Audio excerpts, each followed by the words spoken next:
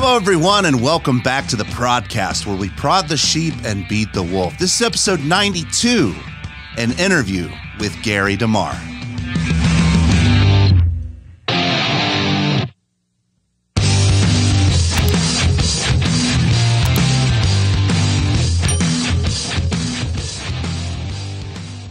Well, hello, everyone, and welcome back to a very special episode of the podcast. As you know, for the last couple weeks, we've been looking at post millennialism, which, and we've been trying to really look at what does that mean practically. Uh, is an eschatological view, it's a view of the end times, and we want to unpack what that means practically for our lives and for us as men, women, as the church, and all of those things. What a day! I am incredibly excited to have uh, a brand new friend of mine I just met a few minutes before we clicked start, Dr. Uh, Gary DeMar. And one of the cool things about uh, Gary DeMar is that he's been influential in my life for about 10 years now. Uh, I was, I started out as a premillennialist. I started out as uh, trying to figure out what the mark of the beast is and trying to all those things. And I stumbled upon a lecture that Gary Mar, Gary DeMar gave on Matthew 24. And then since then, and with others, I've really come to the post millennial view, and it's created so much hope in my heart that I wanted to share um, Dr. DeMar with you. I wanted you to hear from him on, on how he got started on these things. So, without further ado, I'm so thankful, so grateful. Welcome to the show, uh, Gary DeMar. Thanks for having me. Now, um, tell us about who you are, brother, because maybe someone like me 10 years ago doesn't know who you are. They don't know uh, the work you've been doing, how you got into this crazy world of eschatology. Uh, tell us well, about I, you. Yeah, I, I grew up in Pittsburgh, Pennsylvania, uh, in the suburbs of, of Pittsburgh. Um, and I graduated from high school in 1968. Uh, didn't really want to know, didn't really know what I wanted to do with my life. I was I was really involved in athletics. I wanted to, to coach at the college level. I had done very well in high school in track and field, and I was on a track and field scholarship. And then my senior year in college, I went to Western Michigan University. Uh, I, I, ran into a high school friend who presented the gospel to me, and it came with my my senior year, and I, I kind of gave up my scholarship in my last my last year, and uh, really from from that point on, I was trying to learn as much as I could about what the Bible had to say about everything. I was especially interested in the area of apologetics. And uh, remember, this is early 1970s. And at that particular time, The Late Great Planet Earth was very, very popular. It was written by Hal Lindsey, sold 20 some million copies in the 1970s. All the types of things that people are hearing today about Bible prophecy. Hal Lindsey was talking about uh, you know, more than more than 50 years ago. That, that book was published in 1970. And so you're looking at a half a century of people looking at the same Bible passages that people are looking at today and came to the conclusion that they were living in the last generation. Uh, Hal Lindsey called it the terminal generation. And uh, at, at, that point in my life, I really wasn't that interested in eschatology. I was trying to get my life kind of back on track. And in 1974, I ended up going to seminary in Jackson, Mississippi, at the Reformed Theological Seminary, and uh, and there I I, I met uh, one of the professors there was uh, Dr. Greg Bahnsen, who taught apologetics, and uh, that was really my interest was was apologetics. And when I finally graduated, moved moved to the Atlanta area, taught school for a few years, and then got involved in the ministry that I'm involved in now, and that's American Vision. And I started working on a series of books called God and Government because this was not, this is by this time, this is 1980. And we just went through Jimmy Carter's administration. Ronald Reagan was running for, you know, for president. He won in 1980, won again in 1984. There's a landslide in both both cases, and the moral majority had gotten started. And what I wanted to do was to put all of this into perspective so Christians would understand that government isn't synonymous with politics. That the Bible talks about you know, God being the governor of all things, and then there's self government, family government, church government, civil government. And I've outlined this in a three volume set called God and Government, which is available today in a single volume. And any any any book I talk about that I've written and others have written uh, for us. You can get them at AmericanVision.org. And in that book, I, I essentially laid out a biblical worldview of how the Bible applies to the individual, to the family, to the church, and to the civil area of government, which we call the state. And as I went out and started teaching on this, and invariably somebody would raise their hand and said, "Why are we bothering with this? Uh, we're living in the last days. Now, Jesus is, you know, we're we're on the the precipice of the rapture of the church because in the late great planet Earth, uh, in um, night that came out in 1970, Hal Lindsey made something of a prediction. He said Israel becoming a nation again in 1948 was extremely important eschatologically and nationally. And he was saying that uh, Matthew chapter 24, verse 34 says, This generation will not pass away until all these things take place. A generation was 40 years. And so you add 40 to 1948, and people were literally looking for the, the 1980s as to be the final generation before something called the rapture was going to take place. Yeah. And so between 1981 and 1988, there was this great enthusiasm for, you know, you know the, the, the rapture of the church and so forth. Well, here we are, 2024. We're still here, and people are making the same interpretive mistakes that they were making in the 1970s and the 1930s and 40s, and in the 19th century, in the 18th century, in the 17th century, using the same Bible verses, trying to convince people that Jesus was coming soon. And as a result of that, it's my belief that uh, many, many Christians, millions and millions of Christians, have laid aside their kind of cultural, social, uh, responsibilities because they didn't they didn't believe that we were going to be around much longer. Wow. And as a result of that, I think that's one of the reasons we're in the condition we are in today. Because on the one hand, a lot of people don't believe that the world in which we live today is anything that we should be involved in. And on the other hand, they, they believe that we're living on the precipice of some great end time event. And those two things are kind of like a witch's brew of, of Christian uh, uh, inactivity uh, a lack of responsibility and a lack of optimism of what can be done if Christians were really to believe the Bible and apply the Bible to every area of life.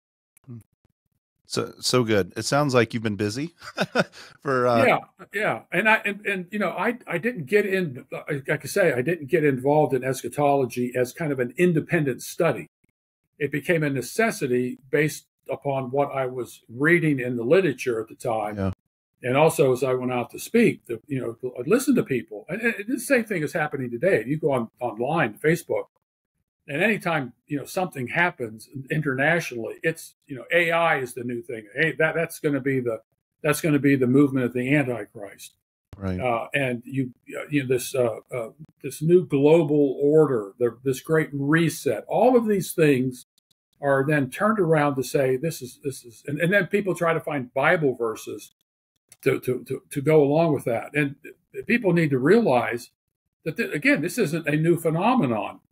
Uh, in you know Daniel chapter 12, it you know talks about um, you're going you know you know to and to and fro, uh, and knowledge will increase. And and people said, oh, that was that was the, the locomotive. The locomotive was was the this was the sign of this idea of, of the, the transportation going into all the world and so forth, uh, done speedily. And it, it, was the locomotive. The locomotive was maybe going 60 miles, 60 miles per hour. And because before that, the, the fastest thing that, was was a horse. And today we've got we've got you know jets and so forth, but people are still making the same type of mistakes, taking Bible passages which I believe have already been fulfilled and then trying to make them fit within our modern day context. And, and it has just been a complete perversion of the scriptures. Yeah. Well, why don't we why don't we jump into that? Um, would you say that that tends to be prevalent in eschatological positions that are more focused on futurism, and and and with futurism, maybe let's jump into what does that mean? Uh, how does that get applied? Um, and then maybe we'll circle back and, and talk about premillennialism well, everybody wants to know about the future. That, that's I mean, that's just kind of built into us. Uh, the, the stock market wouldn't be what it is if people weren't interested in the future. Yeah. And so people want to know what's going to take place. And when they and many Christians, when they see world conditions, you know, deteriorate, they start. They, you got prophecy, so-called prophecy experts out there, who will come and say, "Here's the Bible verse for that." You know, there are wars, and you know, Jesus talks about wars and rumors of wars, false prophets, earthquakes, famines, and they'll say, "Look, all of those things are happening today." And, uh, and, and Israel has become a nation again in 1948. That's a prophetic. That's a prophetic sign. Mm-hmm. And there's talk about rebuilding the temple, and then there's talk about this red heifer. And so, and look, I, most Christians don't have time to study all of this on their own.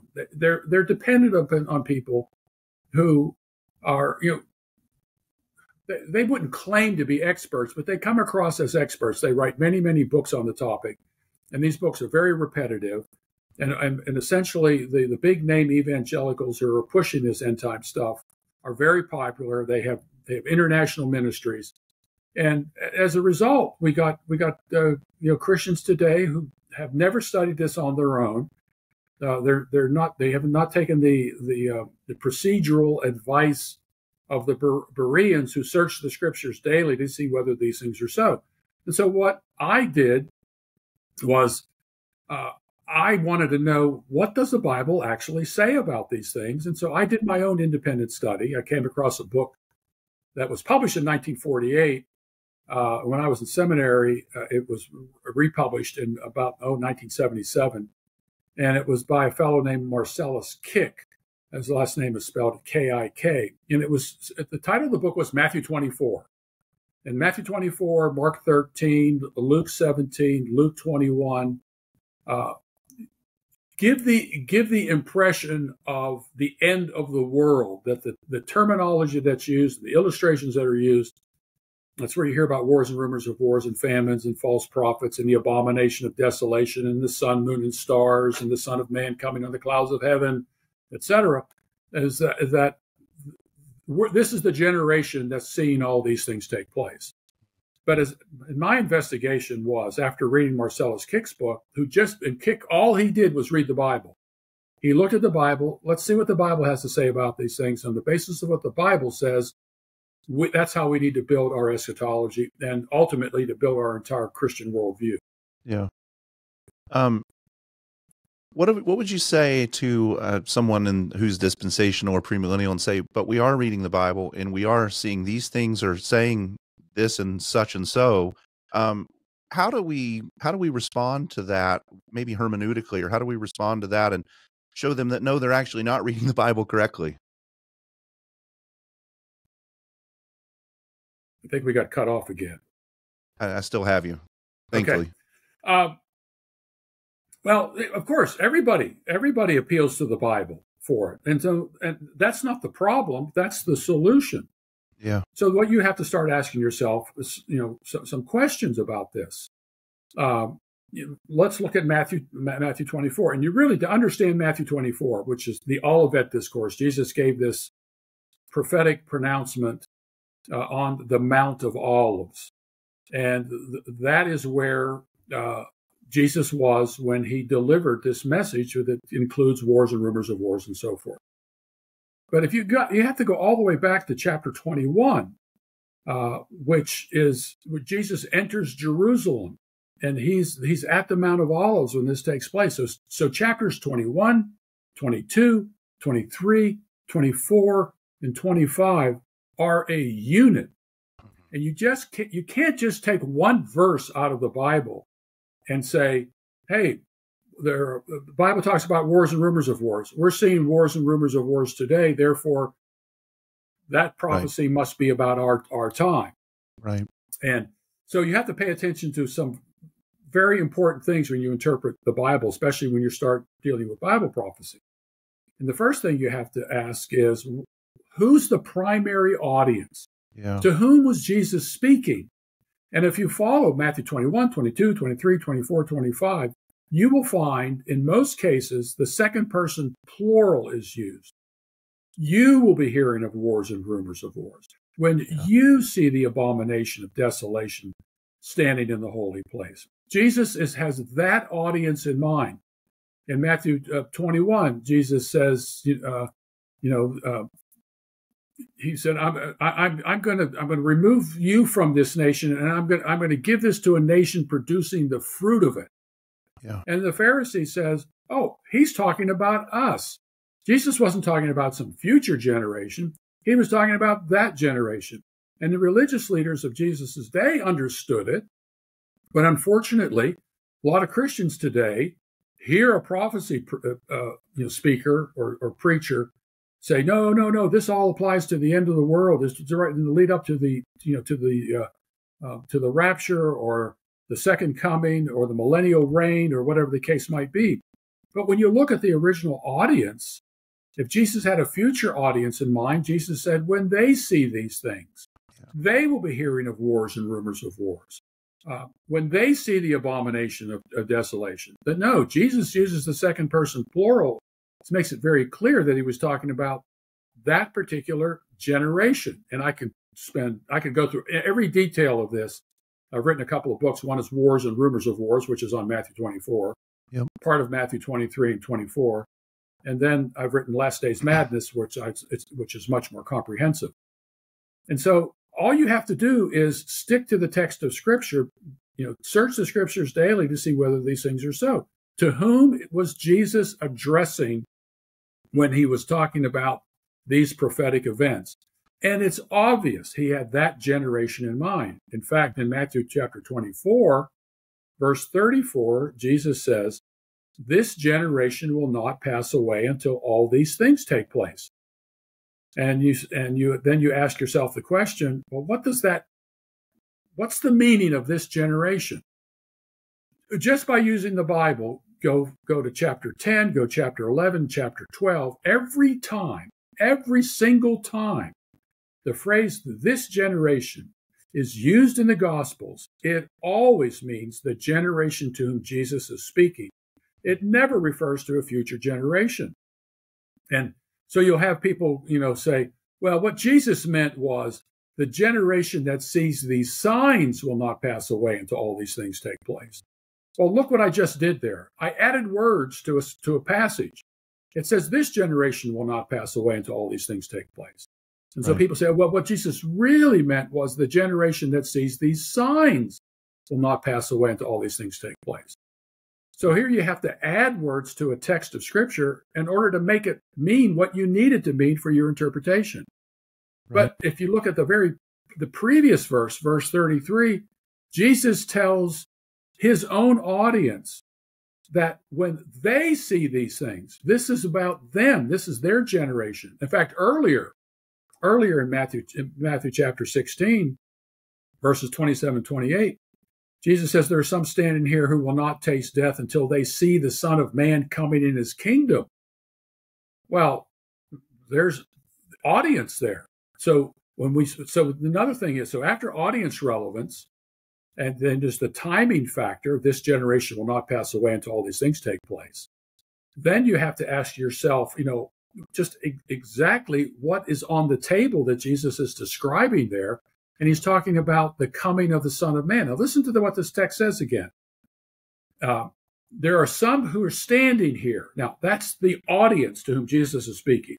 There are some who are standing in that audience who will not taste death, that is, who will not die until they see the Son of Man coming in his kingdom. So that means that when Jesus is Jesus is describing his coming, some of them would would would live long enough in order to see that happen. So hmm. now we have to ask the question: How does the Bible use the phrase the the coming of Jesus, the coming of the Son of Man? When you put the audience relevance and you put the timing relevance in, in there, and then you look at how this generation is used repeatedly, and now we need to look at what does Jesus mean by his coming. And when you do that, you're left with no other no other explanation that Jesus was describing his coming in judgment upon that generation before he passed away. Yeah. Now, this is not an interpretation that's unique to me. I didn't come up with it. There are many, many Bible scholars throughout history who have taught the same thing.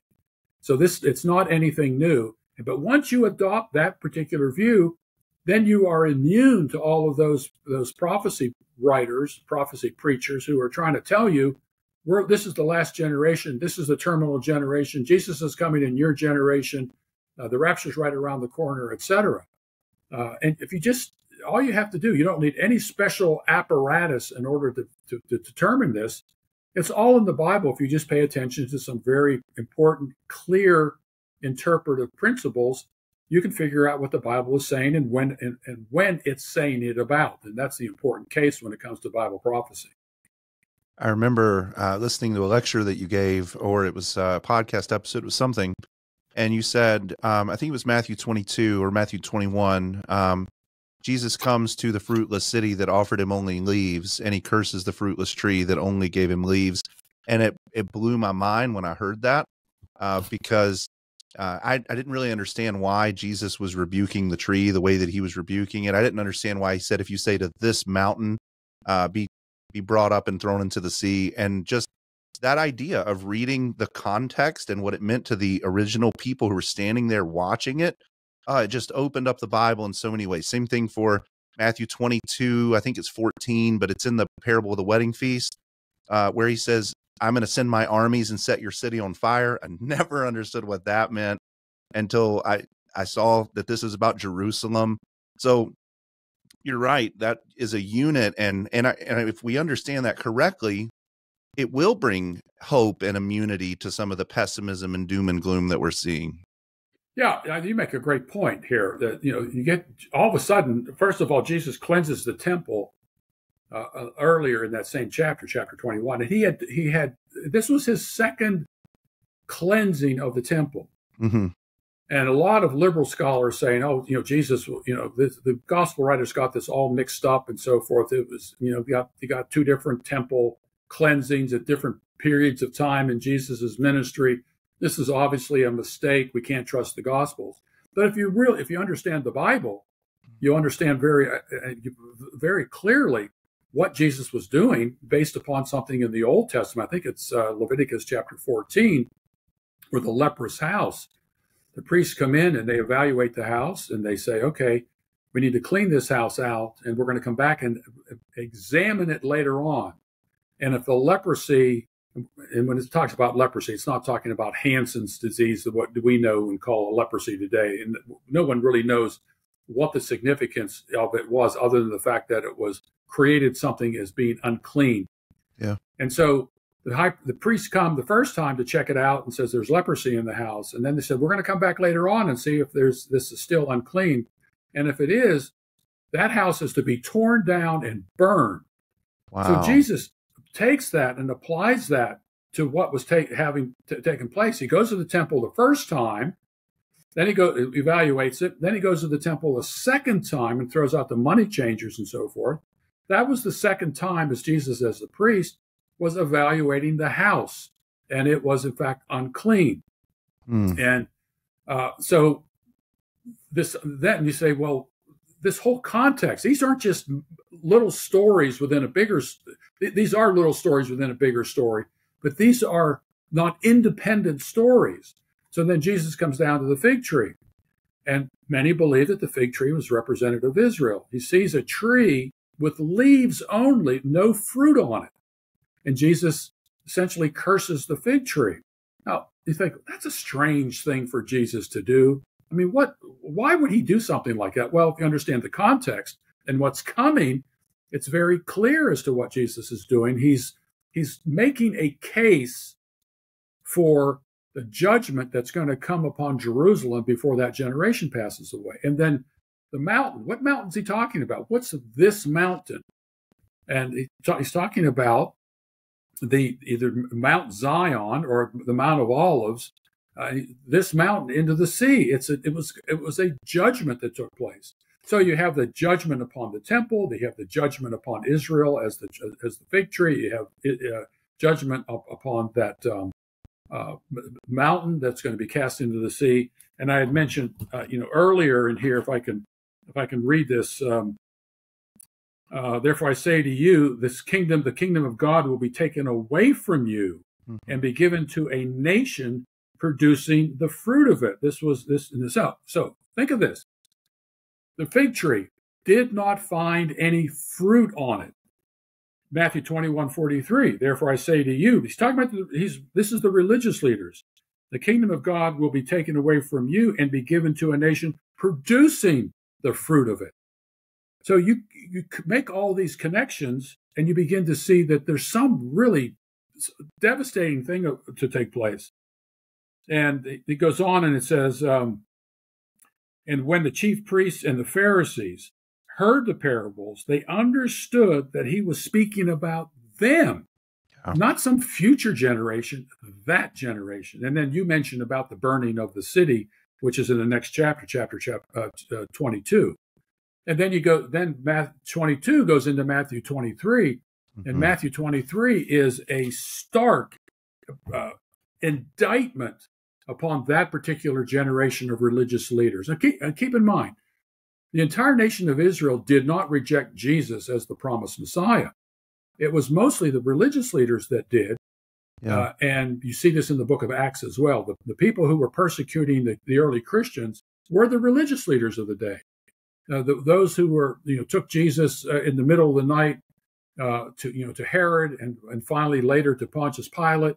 Uh, they were the religious leaders. Mm-hmm. Uh, they were the, the, religious leaders who cried out uh, that they wanted Barabbas rather than Jesus as their king. Mm-hmm. And uh, and when remember what Pilate, what did Pilate say? Did you want me to crucify your king? And what what did these religious leaders say? Yeah, we have no king but Caesar. Yeah. So all this is a unit. This is not describing our time. It is it was describing events leading up to and including the destruction of the temple that took place within a generation in AD 70. Right. Because at the end of chapter 23, what does Jesus say to, to his disciples? Uh, your house, or his the, the, the, the, religious leaders, your house is being left to you desolate. Mm. And then they come out of the temple, mm. chapter 24. Keep in mind that the Bible never had chapter divisions or verse divisions. So just because there's a 24 in front of 20, what we know today is chapter 24.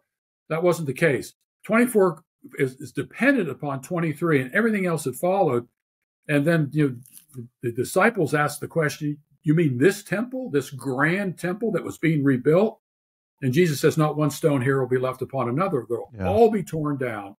And then they ask Jesus, When is this going to happen? And so Jesus goes through Matthew 24 and it explains to them it was going to happen in their generation before their generation passed away.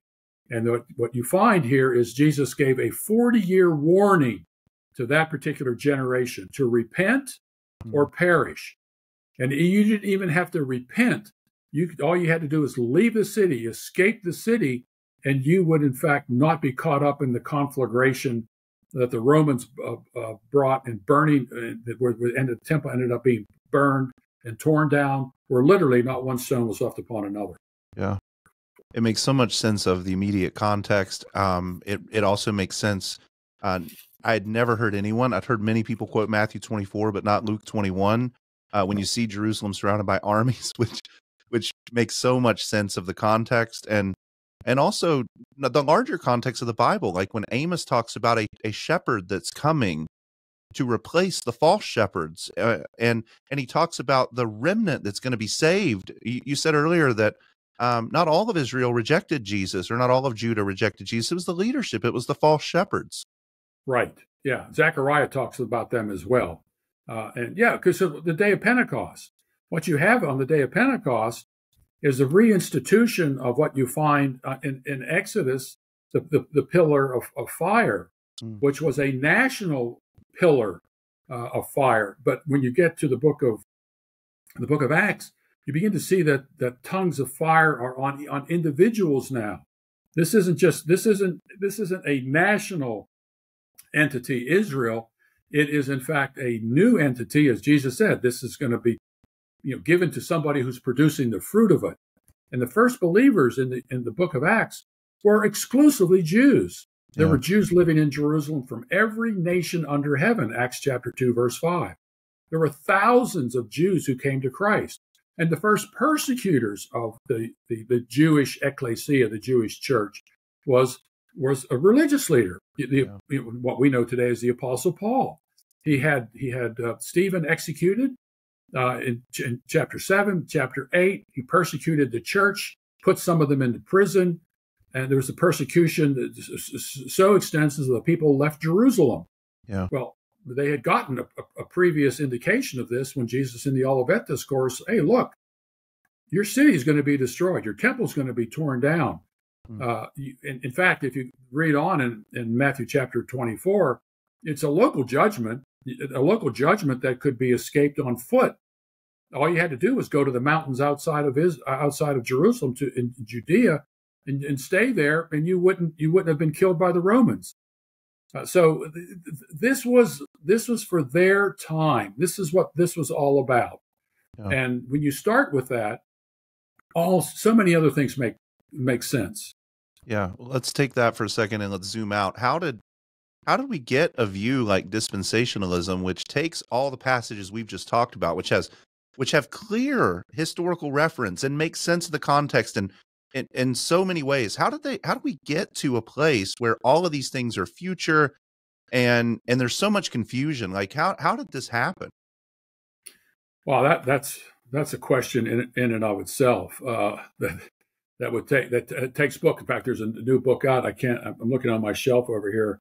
It's a book on um, on kind of the history, the rise. I think it's the rise and fall of dispensationalism.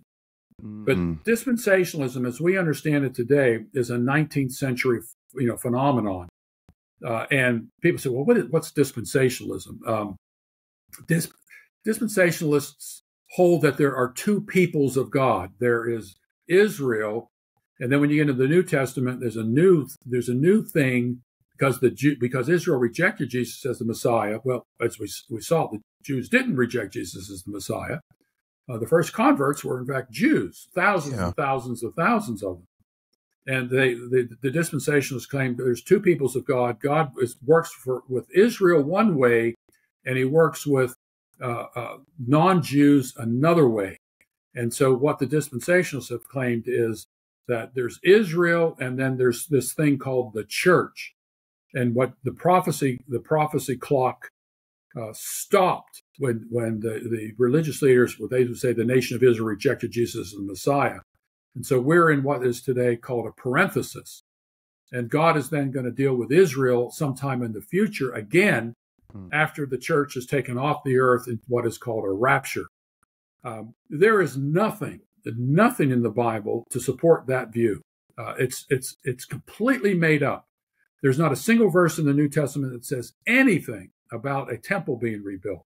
Right. You just you don't you don't find it anywhere, or or circumcision being you know reinstituted. And Paul makes a huge effort, puts forth a huge effort in the book of Galatians and and, uh, and other places where circumcision is no longer a factor. Uh, it's it, it's part of the whole old bloody sacrificial system of the old mm. Old Testament, which the book of Hebrews shows it's been done away with with the sacrifice of Jesus. Yeah. And so there there is no distinction between Israel and the church. The church isn't anything new. Uh, it's it's unfortunate that uh, when they they, they translated the the Greek word ecclesia as church, where Tyndale, William Tyndale, in his translation, translated it as assembly or congregation. It's not anything new. It's a it's a common word. Ecclesia is a common word. It was a common word under the Old Covenant, the, the Old Testament, when it was translated into Greek. The first believers of the, uh, were Jews who made up the ecclesia in Matthew chapter, uh, I mean Acts chapter five, and again in Acts chapter eight.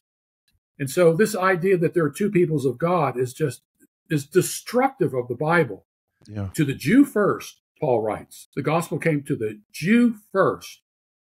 Paul, I mean Jesus in Matthew 20 in chapter 10 talks says you will not finish going through the cities of, of israel until the son of man comes.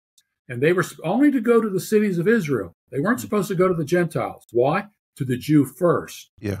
And then once the gospel went to to israel gentiles were grafted in to an already existing believing jewish or is israelite church uh, hmm. there's there's the dividing wall between it between Israel and, and non Israelites was broken down. Ephesians chapter 2. There's only one people of God, there aren't two. Yeah. Uh, and to really, I cannot explain what the, the, the reason was that they would come up with such a, a strange, strange system yeah. that, that, that, that prior to the 19th century, no one was teaching at all. This is, is just completely out of, out of touch with what the New Testament teaches, and even historically. Yeah. Um, but it's become popular because you know what what these prophecy writers were doing was going around telling people, "We're going to tell you what's going to happen. Yeah. Here, here, we're going to we're giving you a timeline for all of this." And then uh, when Israel became a, became a nation again in 1948, something that people have been working on since the 19th century, uh, the Balfour um, Declaration in, in 1917 and so Israel finally becomes a nation again in 1948. And yet the New Testament doesn't say anything about Israel becoming a nation again. Right. And you would think that th- that being the most, uh, one of the most important uh, legs of the dispensational system, that the New Testament would say something about it. Doesn't say anything about it. Same thing with the rapture. There isn't a single verse in the Bible anywhere where it says God is going to return and he's going to remove the church off the earth before, during, after, or be, right before God pours his wrath out. Mm. There's not a single verse in the Bible that says anything like that. It's a it's a manufactured doctrine. Yeah. But it's very popular. And the reason it's popular is that people don't do their own study to check check these things out for themselves. It sounds like that that a misunderstanding of the of the Jewish people and how they received the Messiah. Because you hear this all the time. The Jews rejected Jesus. It was the, the Jews who rejected Christ and crucified him and, and all of that. It seems like that that misunderstanding of not seeing the remnant come to Christ and not seeing that, that it was the Jewish leaders really who are primarily the ones who are persecuting Christ that we've taken all of these very clear prophecies that are near term events and we booted them into the uncertain future because we can't reconcile the fact that well israel is the people of god and they've got to come back. Is that sort of what happened maybe? Well uh, I, I, again I, I think you, you, you find that the, the early church especially if you go to the book of acts there was always this always this debate that was taking place uh, whether jesus was the promised messiah and many Jews came, you know, came to Christ as as a result of that. They saw Jesus as the promised Messiah, and so the gospel had in fact gone out to the, the Jewish nation first, and the new the, the, these these Jews embraced Jesus as what what the Old Testament said he was. Mm-hmm. Uh, but it's like anything else. Uh, it, there are people who have a um, they have to they have to hold on to their jobs, so to speak. Uh, it, it, was it would have changed so much among the religious establishment. And then then when they said, "Oh, Gentiles are included in in these promises," that is when things that's when the dam really broke. No, yeah. no, no. They have to be circumcised. They have they have to follow the dietary laws. Right. Uh, they have to do all the things related to what the old covenant was all all about. We see and them when, struggling and, in that way in the New it, Testament. Yeah, and, and you know who was persecuting the Apostle Paul throughout the, yeah. throughout the, the book of Acts? It was the religious establishment. Yeah. Uh, the religious, you know, early on with the execution of, of Stephen, and then the, the, Herodians. You have to keep in mind that the Herodians also, it was a political power play for the for for the Herods, going all the way back, you know, to the birth of Jesus. The birth, think of that, that birth of Jesus, the execution of John the Baptist, uh, one of the Herods in, involved in uh, one of the trials with, with Jesus. And then you got, um, I think it's Acts chapter 12, where um, James, the brother of John, is, is, is executed. And it's interesting what it says that when Herod found, when he did this, he, he noted that it pleased the Jews. Yeah. Now, now it's not talking about all Jews. It's talking about the religious establishment. They, right. Their jobs were threatened in, in, in essence. And, and if you read through the book of, of Acts, even later on, you, you find there was a, a plot devised by the religious establishment in order to kidnap uh, Apostle Paul and execute him. Yeah. And then if you go to, I think it's, um, I don't know, I think it's second, maybe Second Corinthians twelve. Paul outlines all of the stuff he went through, all the persecutions and the stonings, being left for dead, uh, being uh, uh, lashed, you know, with you know 39, 39 lashes, all of it. Who was doing that? It wasn't the Romans. Yeah. There wasn't the Romans who were doing it. The, the Romans, you know, in, in, many cases, were trying to keep the peace. They didn't care about this dispute between these these these two Jewish factions, as they they were usually assessed. Yeah. Uh, and, you know, the if you go to Acts chapter sixteen, uh, the apostle Paul is arrested by the Romans and even uh, you know, beaten because not because of his religious views, because he was considered to be someone who was uh, uh, a, a, political rebel. And as soon as he declared that he was a Roman citizen, they let him go. And later on, Paul appeals to he was about to be strung up and beaten by the Romans, and he says, "Well, what do you? No, you can't do this. I'm a Roman citizen." And they immediately cut him down.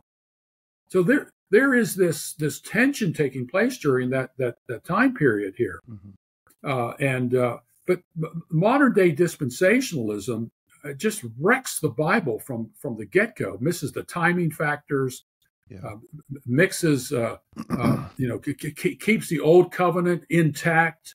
When when when you read the New Testament, when the old covenant was passing away in terms of its sacrificial system, its bloody rites like circumcision and so forth. That's what the Book of Hebrews is all about. Hmm. And so it's, it's, always been a mystery to me that uh, dis- how dispensationalism grew up. Uh, but it always grew up in terms of predictive prophecy because we had all these prophecy conferences. And the focus had become on the last days. And the problem was the last days that the Bible talks about were the last days of that old covenant order that yeah. was coming to an end. It's yeah. very, very specific in Scripture. Hebrews says, In these last days, I've chosen to speak through my son. Yeah, exactly. Uh, and so he's not talking about our last days. He's talking about that last days. Mm. Uh, and I think uh, First Corinthians, First Corinthians 10, 11, uh, Paul is is rehearsing Israel's history, and he's going through and he says, "Man, don't don't be like old old covenant Israel." And so you get to verse 11, uh, and he so he, he outlines just briefly Israel's history. In fact, Stephen has, had done the same thing. That's what got Paul and the religious leaders so angry because what he was doing was bringing up Israel's past and how they had, had you know disobeyed and rejected. And it's the same thing that happened in Matthew chapter 23. Yeah. Jesus was rehearsing what was happening in his own day, and Jesus said, "You're just like your you're just like your forefathers here who killed the prophets." So in 1 Corinthians chapter 10, verse 11, it says, uh, now, th- these things happened to them, that is talking about the Israelites under the Old Covenant, as an, ex- as an example, as a type. And they were written for our instruction. Wow. Now, listen to this upon whom the ends of the ages have come. Yeah. What, what's what's Paul talking about? The old covenant order. The old covenant order was passing away. Jesus was the fulfillment. He was the Lamb of God who took away the sins of the world. He was the temple, destroy this temple in three days. I'll raise it back up again. He was he was the he was the uh, the, the, high the high priest. Everything in that Old Testament were types. Mm. That is, they they were they were put in place in order to look forward to the coming antitype, the one who would in, in effect fulfill all these prophecies. Right. The temple was temp was supposed to be temporary. Animal sacrifices temporary. The the the, the, human pre- priesthood, all temporary.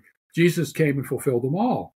Well, the, the, the Jews who, who uh, under under the, uh, the, the new covenant, they saw their whole world being changed as a result of this, and they didn't like it. Mm. And uh, and you know, dispensationalists today, unfortunately, um, many of them have very good intentions. Mm-hmm. Uh, there's a lot to protect in terms of the dispensational system. There are seminaries, there are colleges, there are ministries. Uh, and uh, I've been doing this a long time, for 40 years. Uh, I've heard every argument under the sun. Mm. and it's, it's, it's embarrassing sometimes to listen to some of the argumentation I hear mm. from from very prominent men uh, on, on, these on these views. You had mentioned earlier that I had debated uh, Thomas Ice. I debated uh, uh Thomas uh, nine times. I debated Dave Hunt. I've debated others, and uh, you know they really can't they really can't can't sustain their their their belief system. And this is all beginning to change. I think you had asked this question. Do I see a change? Yes. 40 years ago, when I started doing interviews like this on radio stations and so forth, oh, I got some nasty, nasty calls. Uh, and uh, but today, if I were to do an, an interview on the radio, uh, it'd be amazing how many people who would, who would call in and say, "Hey, oh, I used to believe this, I don't anymore. I read your books, or I read R.C. Sproul's book, or I read this book, or I read that book." And there's a significant change going on in terms of Bible prophecy today. Yeah. Uh, but you know, the, the more popular the more popular view is still out there, and it has a, a huge sway over the American uh, uh, public. But I believe there's a better system, and I think that better system is much is I believe much more biblical than the system that that's, that's popular today. Yeah. Um, I know that we're uh, we're at 45 minutes now, and brother, I am riveted. I could have this conversation for uh, until you and I are both blue in the face, probably. But um, just as a summary of where we've covered, many and and let's just say many uh, many of these that are normally counted as future events we've already shown have historical basis for being viewed as first century events. Um, so that that means that the wars and the rumors of wars the the famines the the plagues the jesus returning on the clouds even and there's there's good evidence on on from the language of the old testament on why that's already happened. We're saying that all of that has already occurred in the first century coming of Christ. And what the dispensationalist or the, even the historic premillennialist would, would say is still future, there there is no biblical warrant for punting those things out into the future like they do. Is that is that correct? Yeah. Uh, look, I, think you find a couple of things, and, and take Matthew 24. Like I said, I've written a book called Wars and Rumors of Wars where I go through this verse by verse. But wars, highly recommended, wars, by the way. yeah, uh, wars, and again, you can get it at AmericanVision.org. Wars and rumors of wars. There have always been wars and rumors of wars. I, I, yeah. they it's not really an end time sign. And I think Jesus, in the first part of Matthew 24, is dealing with things that aren't truly signs regarding what events leading up to the destruction of Jerusalem in AD 70, because there were wars and rumors of wars throughout the Roman Empire. Um, you've got uh, famines. Uh, all you have to do is read Acts chapter 11. Read mm-hmm. Acts chapter 11. There was a famine throughout the whole world in that century.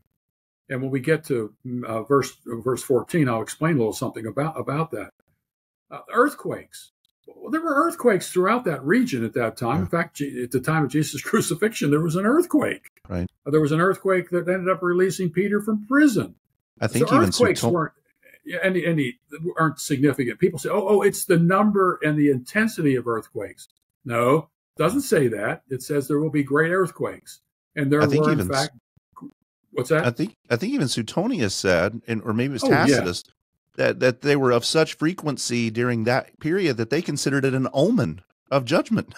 yeah, exactly, and you had actually uh, uh, Halley's comet passing over Jerusalem prior to the destruction of Jerusalem in AD 70, which, by the way, is an event that happens about every 70 some years. The famous thing about Mark Twain said he came in on, on Halley's Comet and he w- would go out on Halley's Comet. And he was born in the year that the, the passage of, of, one, the coming of, of Halley's Comet. And then he, the year he died, he all Halley's Comet returned. It comes every 70 or 73 years. So, and so you go down that you go down that that list and people say well wait a minute hold on a second here. It says of, there false be false prophets. Look at first john chapter 4 verse 1 there are many false prophets have gone out into the world. Yeah. Well what about the antichrist? I said okay i always do this. I said give me a biblical definition of antichrist.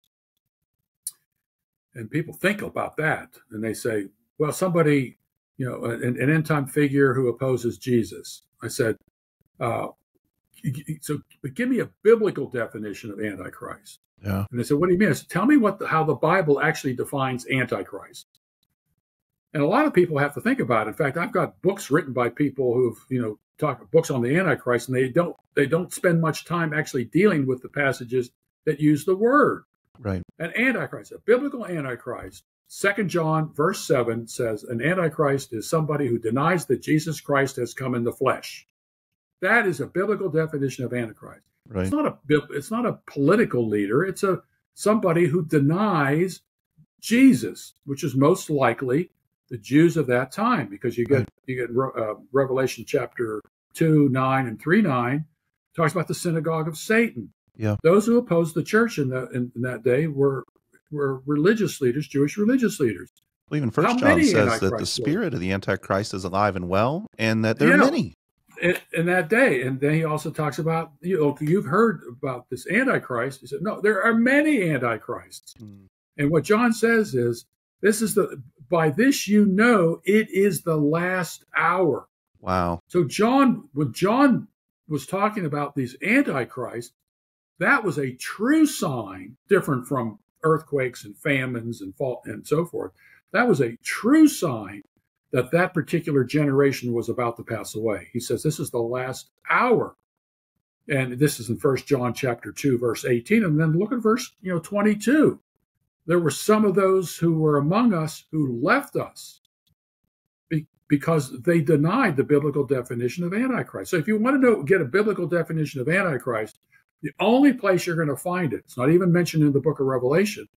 The only place you're going to find it where the word is actually used is in First John and in Second John. Mm.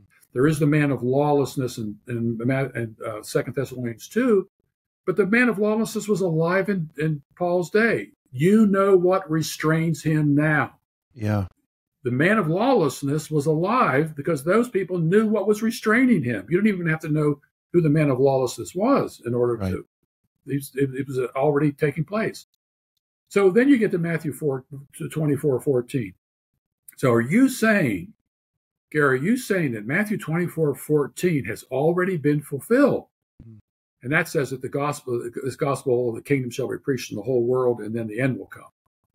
And I, my question is, how would you determine whether or not it had been fulfilled? Mhm. Tell me, how how would you do that? Well, the gospel would have to be preached in in, in the whole world, so that everybody would have heard the gospel. And I said, well, okay, uh, but let's let's look at this a little more clearly. Let's to me, it said the only way I would be convinced is if the Bible told me it would be that it was had, had been fulfilled. Right. That's what would convince me. If the Bible literally said that the gospel had been preached in the whole world in Paul's day, that's what I would believe. Yeah. And he said, Well, are you, how can you say that? Because that's what the Bible actually teaches. And what's interesting, it says, This gospel shall be preached in the whole world. And it, it, it- what's, there's the word that's translated world in most translations is not the typical word, it's cosmos. Uh, that's the word you would expect. But the word that's used there is oikumene. It's a Greek word that's used elsewhere in the New Testament. I'll give you two examples. One most people are familiar with uh, is that's in Luke chapter 2, verse 1, that a decree went out from Caesar Augustus that the whole world be taxed. Well, Rome couldn't, as much as Rome would have liked to have taxed the whole world, they could only they could only tax within their domain, within their empire. And the Greek word that's used there is oikumene. Yeah. And then you get to we already looked at Acts chapter eleven, verse twenty eight. This is this there'd be a famine over the whole what? The whole oikumene. Yeah. So was was the gospel preached throughout the whole world? Well, Romans chapter 1 verse 8 says gospel had gone into the whole world. Hmm. Colossians 1:23, listen to this one. Colossians 1:23. It says that the gospel had been preached to all creatures under heaven. And in Romans chapter 16, the, Paul says the gospel had been preached to all the nations. Yeah. So when you look at Matthew chapter 24, you know, it's again the the very next verse, verse 15 says, "When you see the abomination of desolation Right. standing in the holy place," and then you mentioned Luke 21 says, "When you see Jerusalem surrounded by armies," you put those two things together, and you see that that was a local judgment upon Jerusalem of that Right. day.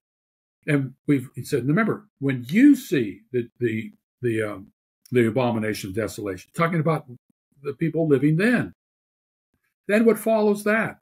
What follows that is, hey, uh, when you start when you start seeing these things, especially about the abomination of desolation, is you know leave your homes. Your you know don't don't spend your time on the roof you know on your rooftops anymore. Don't uh, go into your house and get and get your cloak, uh, uh, et, et, et, et cetera.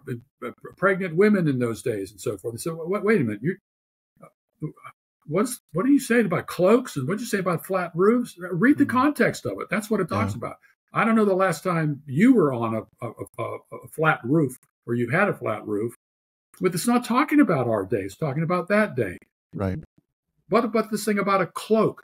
Cloak was very important. It was a it was a form of collateral. If you go back to the Old Testament, yeah, that was the local judgment, and you could you could uh, you could it also talks about the Sabbath there as well.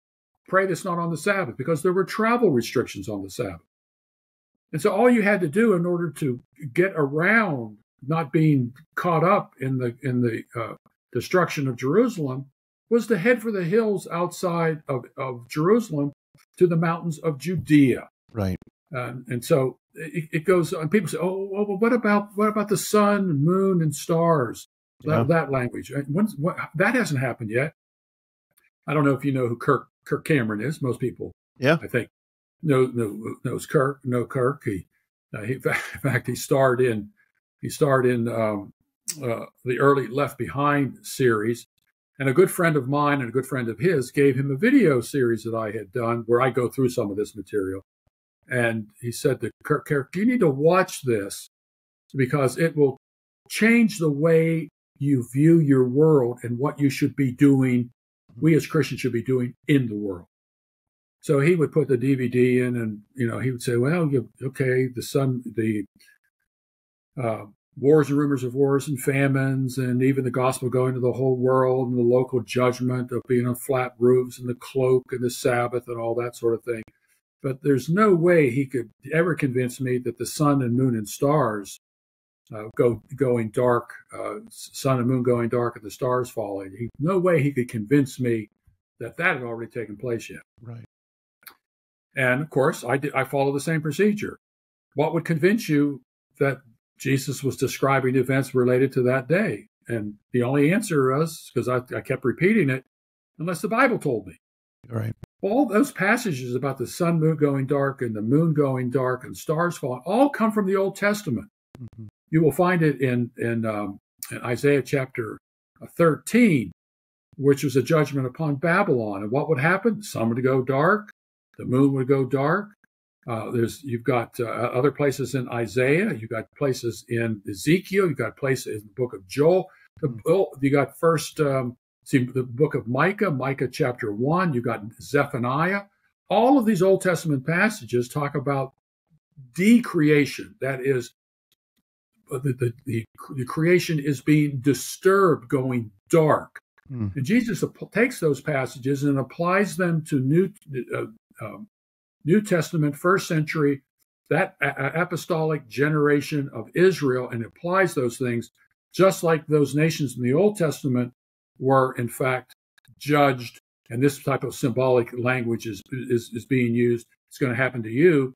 And think of this how is Israel described in uh, Genesis chapter 37? Hmm.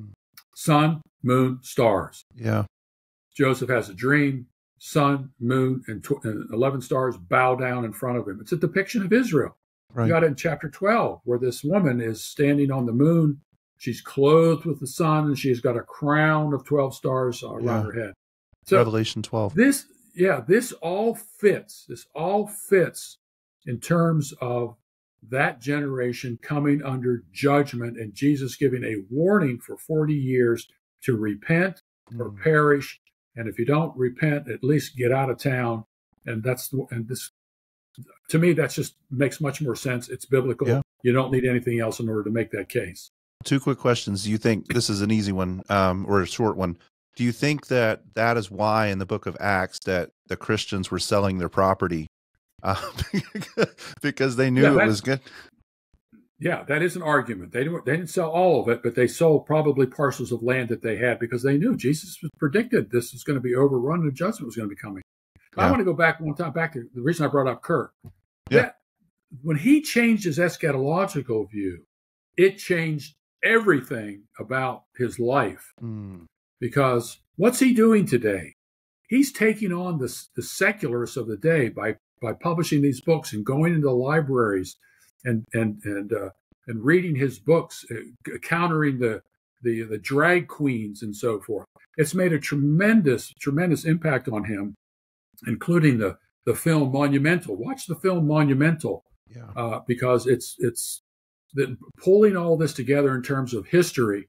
And you'll see the fellow who influenced um, Kirk. His name was Marshall Foster, who died a couple of years ago. He's the one who introduced Kirk to to my my video series because we really were talking about all this, and the reason I got involved in all this because too many Christians have you know have have had a defeatist, inevitable mm-hmm. end as part of their worldview, and as a result, have allowed the world the world to go go bust in terms of hey you can't polish brass on a sinking ship. You can't you know rearrange the deck chairs on the titanic. It's all going down uh, Jesus is coming back soon. All the signs are there. I guarantee you, you change your eschatological view, you will change the future. Yeah. Let's uh let's ask the one one last question just about what you just started talking about, brother.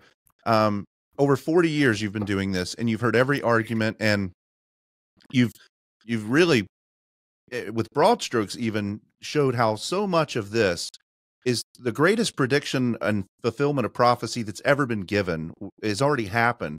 Now, building upon that, and and in light of what happened to Kirk, his whole life changed in the way that that his that he's approaching things. How would you say, and and to the person who's watching this, who's who's maybe hearing some of these things for the first time, uh, what what would you say that about post millennialism being practical about this view of these things happening because it seems like they happened in the past. How is this relevant to my life today? Uh, if you could sketch that out for us, that would be amazing. Yeah, that's a good question. I wrote a I wrote a response to the Left Behind series called. It was originally um, well, it's called Left Behind: Separating Fact from from uh, Fiction, and it was originally uh, published by Thomas Nelson as the book End Times Fiction.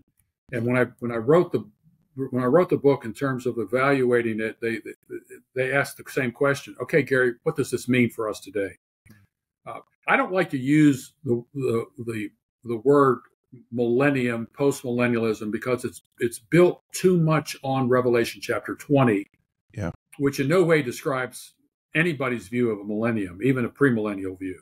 Revelation 20 doesn't say anything about Jesus reigning on the earth for a thousand years or circumcision be reinstituted or animal sacrifices or a period of peace and on forth and so forth and so on.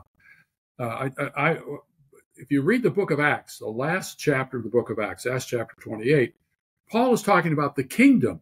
He's preaching the kingdom. And throughout history, kingdom has been described as Christendom.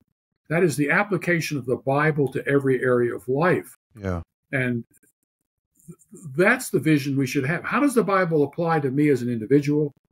To my family, to my church, uh, to the area of civil government. The Bible has a, a, great deal to say about civil government. I wrote a, a book, uh, I mentioned it earlier, called God and Government, uh, 30 chapters, how the Bible applies to, to every area of government, self, family, church, and civil government. It's, it's simply applying the Bible to every area of life. Mm. And you can, and there's a book that was written by Vishal Mangalwadi called The Book That Made Your World published by Thomas Nelson. And in that book, he shows the, the, the West, the Western world, uh, with all of its success and productivity and progress and so forth, grew out of a Christian worldview. Science grew out of a Christian worldview. Education grew out of a Christian worldview. Literature, and music, and art, all of that. And what we're what what's happening today in our culture is that uh, it's being destroyed. It's being done away with. Harvard, Yale, and Princeton these were schools, Columbia University were schools that started by Christians. We gave up on these institutions because number one, we didn't think this world was important. And number two, we thought we're living the last days. And so your eschatological view affects the way you are going to handle the world in which we live. And right. so when you see bad things taking place, the goal should be how do we fix these things? Take God's word seriously and make the application. Want to fix families? Bible has a lot to say about that. You want to fix education? Take control of it again. Don't turn it over to the state. You want to you want to uh, um, make a living? Start your own business. I mean, you got if the woman, the, the Proverbs Proverbs thirty one woman, you know, you she was she used her gifts and talents in order to to to help to help in the household. Hmm. Uh, she didn't neglect her family in doing that. Uh, there's just entrepreneurial opportunities. Uh, we need to we need to cut down the, the, the the power of the of the civil government, return it to its constitutional uh, limitations, uh, yeah. turn get things back over. They let the states exercise their particular constitutional prerogatives based hmm. upon the, um, the, the Ninth and Tenth Amendments. I, I, wrote I've written in that area as well. I have a book called "The Case for America's Christian Heritage," uh, which deals with American and the impact that Christianity had on America. Again, this is a, these are all available at AmericanVision.org. Uh, it's incredible, and um, yeah, I'm I'm encouraged, brother. I hope that other people who are listening to this are encouraged, and you've given plenty of opportunities for further study in some of the things that that you've shared. Um, anything that you want to leave us with as sort of parting uh, wisdom or guidance for us, just who are thinking about how do we retake the world, the world that Christians have pulled back from. The Bible says we're supposed to be salt, and in the ancient world, if you didn't put salt on meat, it rotted. Well, look at the world around us; it's rotted because we've pulled back. So, what encouragement, what wisdom would you give us as as we seek to repent from that and and go a different course? One of the first things I tell uh, after after something like this is people look at it say, "Oh man, there's too much to have to change," um, and that becomes part of a problem. It's too overwhelming, and you feel guilty, you feel defeated because things didn't change overnight. And I always tell people, grasp the areas of responsibility that you have right now and fix those first. Mm. Uh, keep your family intact, work within your family, the education of your children, and so forth. Uh, develop friendships. Uh, your church shouldn't be just a place where someone preaches to you, but it should be a, a, a community where where gifts and talents are uh, are shared. Mm. That's where successes are shared. Where people who have problems, we work within, we, we, we help them with them take back the responsibilities that we've turned over to the state and we take responsibility for that and finance those things. That means that get your kids out of government schools. They're government yeah. schools. Yeah. They're only going to teach a, a, a, a, secular governmental aspect of it. The nine of people say, "Oh, our church, our, our schools are better than than that," and so forth. Well, you might have. They might be. Everybody makes excuse, excuses for your for your for education, and I, and I know it's expensive to do that, but churches churches are vacant ninety percent of a week. Uh, there's it's it's all there. It's right right in front of us in order to make these changes. So don't feel like you got to change everything at once. Pick a few areas outside of your own personal life. Like my wife and I support financially a pregnancy center where mm. w- women who co- who come in uh, who've had children have don't know how to raise a family, don't know how to do a budget, they don't know how to do any of that. Uh, you know, it's, it's easy to say, well, you need to keep your baby, and you know, James talks about that. You know, you know, uh, be filled and so forth, and then move on to something else. Yeah, that's and good. So they're they're involved in actually helping young women and couples get their lives back together again. So there's a lot of stuff out there, but don't get don't get too too worked up over too many things that you neglect the things that God has created in what I call a circle of responsibility. Determine your circles of responsibility, work within those, and then work w- without. Don't feel guilty because you're not changing everything or fixing everything. Fix the things that God has put in front of you and work from there and work out. With with millions of Christians doing that, we could change we could change the world within a generation. Yeah. And it's so important you use that term generation because we we tend to think we need to change everything by tomorrow. Um, it, this could be this could be a multi generational work, and and yeah. probably will be. Um, we have to have the right timeline perspective as well. Yeah, I mean, think about it. Harvard was started in the 17th century, the early part of the 17th century, I think 1636. It took hundreds of years for it to fall apart. Hmm. Uh, and same thing with Yale. Yale was actually instituted because Harvard was drifting away from its original moorings. So uh, it's it, this didn't happen overnight. It's not going to be fixed overnight. I like I said, I was born in 1950. I began to see things deteriorate the college campuses in the early ni- the late 1960s. But it didn't just start there. There was a whole history of this. There's a lot that has to be changed, but you got to start with yourself and start with your family and your church in order to make those kind of changes. And don't be afraid of politics. The goal of politics is to diminish its power, not increase its power. Yeah. And so that would mean diminishing the power of the, the, the national government, return it to its its its limited governmental function in the Constitution of the United States, and then get get state government, county government, city government. Uh, we need to be involved in every facet of society. I mean, the reason the left wins and anti-Christians li- uh, live and, and, and win is because they're actively participating in making those types of changes. They're not right. in the minor, uh, the majority. We are, mm. but we don't exercise that ability because we have a faulty view of the world in which we live, and also we have a faulty view of what the future holds for us because of some eschatological view. That's so good.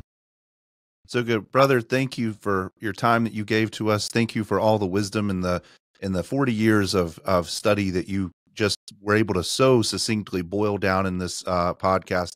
I'd love to have you on again sometime, brother. Thank sure. you so much. All right. Thank you, Kendall. Appreciate it. God bless you.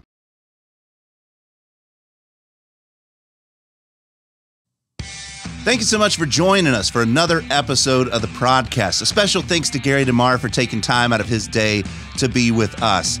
If you like what you've heard, you can like, subscribe, you can share it with your friends. Help us get this out to more people. Also, if you'd like to help support the ministry that we're doing here, you can go to www.theshepherds.church and click the Give tab. Every dollar that you give helps us create gospel content that goes out to New England and beyond. Until next time, God richly bless you, and we'll see you again on the podcast.